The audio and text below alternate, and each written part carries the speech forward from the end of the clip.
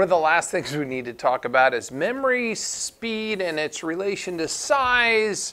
Uh, and I already have up there. Uh, memory size does not affect the speed of memory. However, the amount of memory does affect the speed of the system. So uh, more memory does mean a faster PC to a point. It does not mean the stick itself is any faster. To make the stick perform faster, we have to have the fastest megahertz. We have to use dual channel architecture. We have the lo lowest clock rating available, the newest generation. But once those things match the motherboard, how do we make the whole system faster? So by adding more memory. In fact, adding memory is the single least expensive, easiest upgrade you can do to most systems.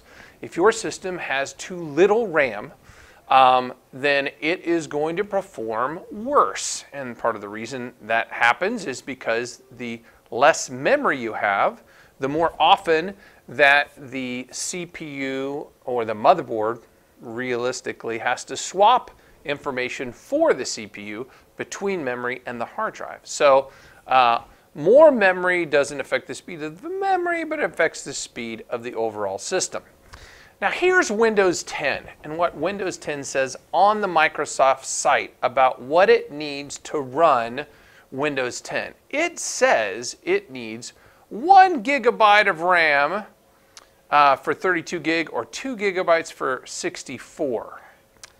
And I will tell you that is ridiculously low and it does not run at that. It will boot uh, and it will do nothing else. Uh, if you put that small amount of RAM in to a Windows 10 system with one gig, it basically runs out of memory in about five minutes as soon as you use a couple applications and uh, it's completely unusable.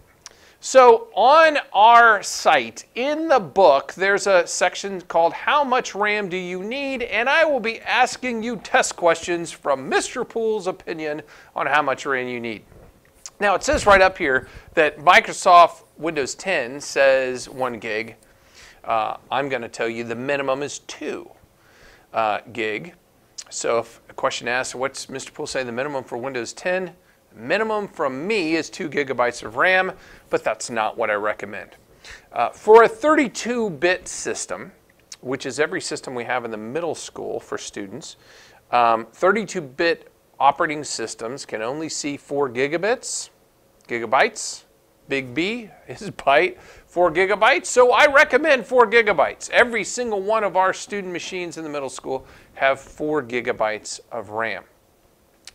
The sweet spot for performance and cost is 8 gig.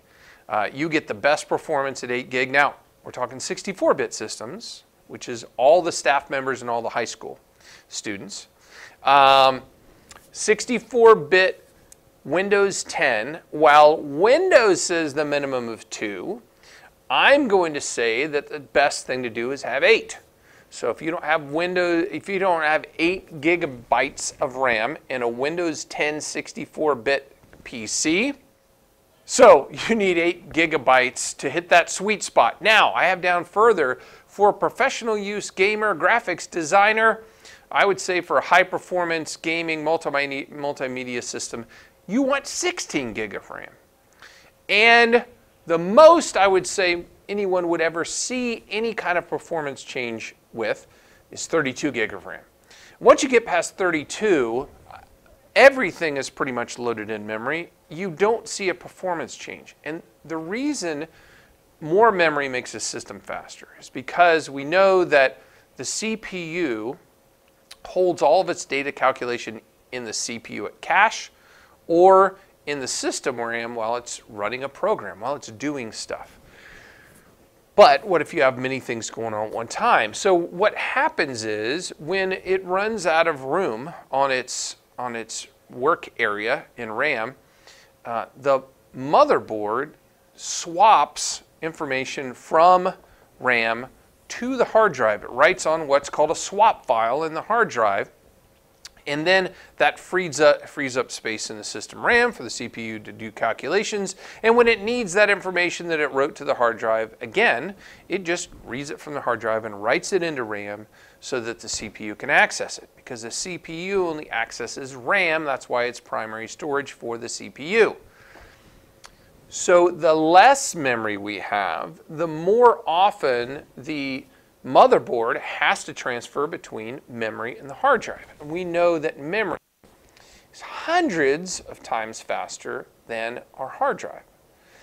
And if it has to go to the hard drive and swap information back and forth, then it slows the system down.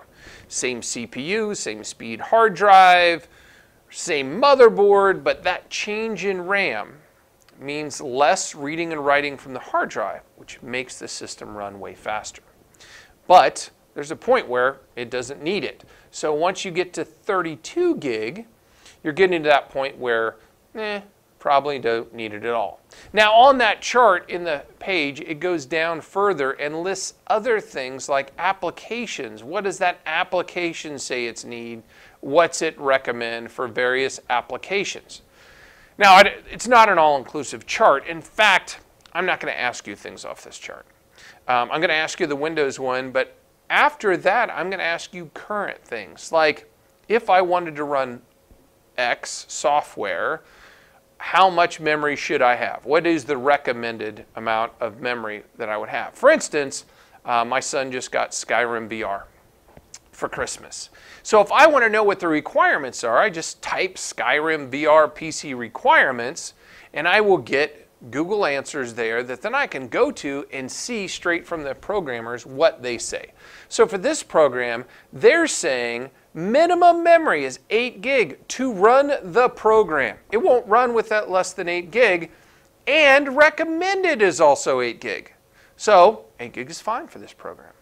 Um, the difference on this one between minimum and recommended is the version of Windows, the processor, and the video card.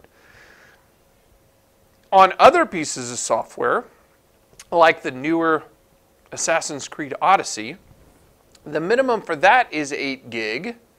Recommended is 8 gig, but if you want to use it up at high resolution settings, you need 16 gig of RAM to run it there.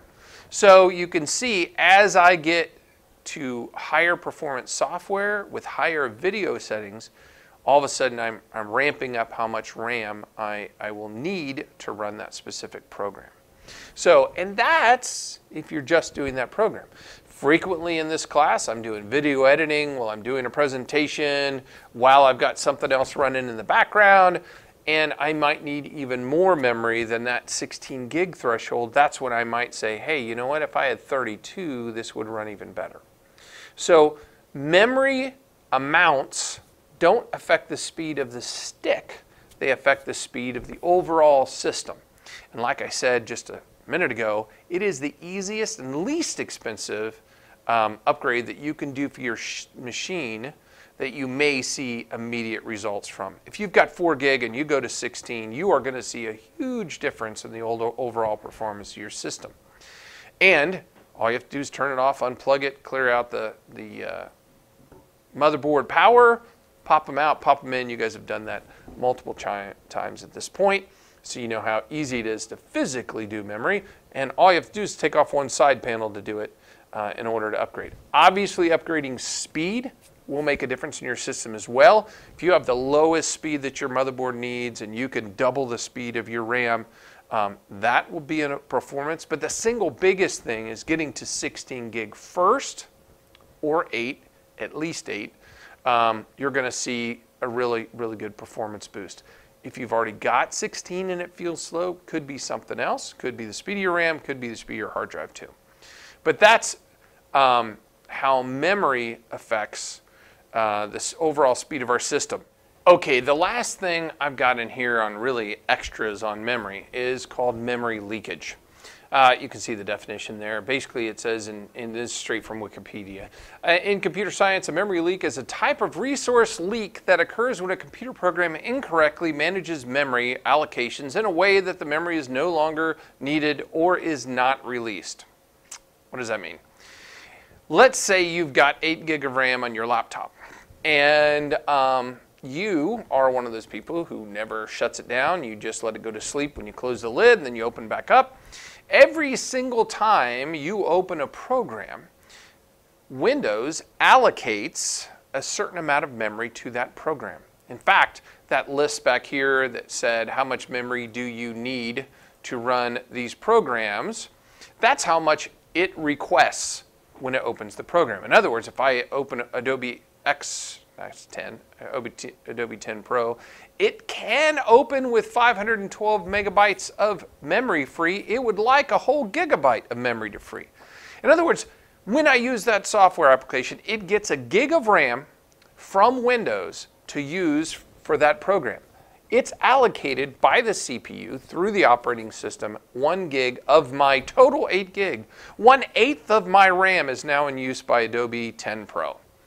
Um, and if Adobe 10 Pro is programmed and runs correctly, when I close Adobe 10 Pro, that one gig of RAM goes back to Windows and is then available for other programs. But many times programmers don't do a good job in releasing memory when a program ends. Sometimes it's our fault by, by uh, crashing that program or closing it when we close our window. But basically what happens with memory leakage is over time, all those individual pieces of memory that are leased out by Windows to individual programs may or may not be returned to Windows. And so the memory doesn't go anywhere, but as far as the operating system is concerned, there's less and less and less memory free to do things with, like perform computations. Um, so as we keep our computer on longer and longer, and as we open and close programs, memory leakage starts to cause all kinds of pro problems. Number one, my system runs slow. Number two, all of a sudden I can't print, or some application doesn't run right. The memory is still there just can't use it anymore because of all these programs that have incorrectly returned the memory to the operating system as it was running.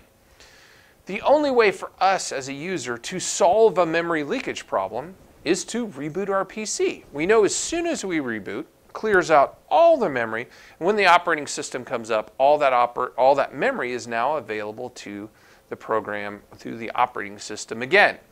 Which is why every single time a staff member calls and says, I've got a problem with this all of a sudden, my first question is, have you rebooted your PC?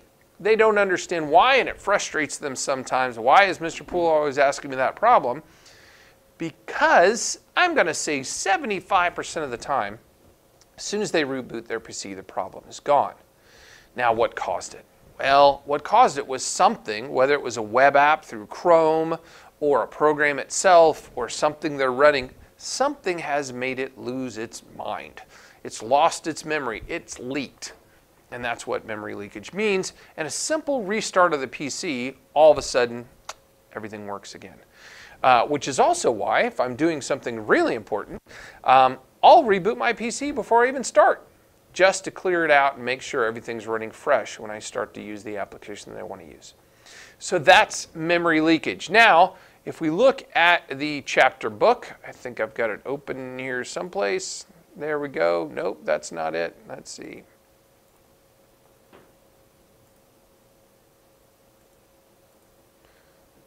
There we go. If we look at the chapter book, there's also a little extra information on uh, voltages of RAM and how the voltages have changed. Um, and there's a nice little video on uh, uh, from Linus Tech Tips on whether memory upgrades matter and what his opinion is on uh, memory upgrades. I'd like you to watch that one as well and read through this memory extra section. And that concludes all of our information on this section on memory.